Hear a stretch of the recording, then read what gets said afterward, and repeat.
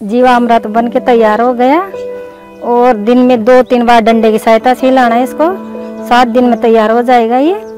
फिर इनको पानी मिला के किचन गार्डन में छिड़क देंगे। और ये दलिन फ़सल ही खाने की फ़सल ही और जैसे कोई भी फ़सल ही नहीं, उसमें छिड़काव कर देंगे नहीं तो अच्छी पैदावार, अच्छी होती है। और ये उर्वरक खाद की ज़रूरत नहीं पड़ती है इसमें। अरे वाह दीदी ये तो बहुत सरल और आसान है। ये जीवामृत बना के हम घर में कितने दिनों तक रख सकते हैं? छह महीने तक ये कभी भी खराब नहीं होगा और छह महीने के अंदर खूब काम ले सकते हैं आप इसको। दीदी मेरा आपसे एक सवाल है ये जीवामृत से क्या क्या फ़ायदे हैं? चलो इसको समझने के लिए हम देखते हैं वीडियो।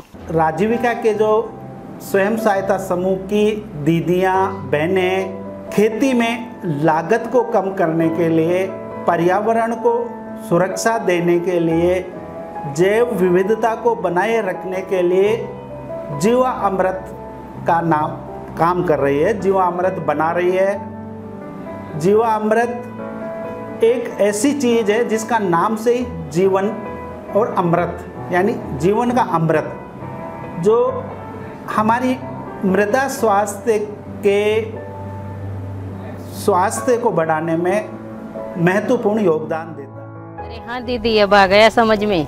आज से ही हम जीवामृत का प्रयोग करेंगे। हाँ ज़रूर। ठीक है।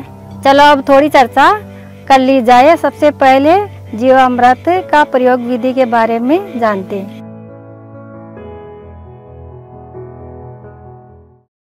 अब बताओ कि जीवामृत बनाने के लिए किन किन सामग्रियों की ज़रूरत पड़ती है।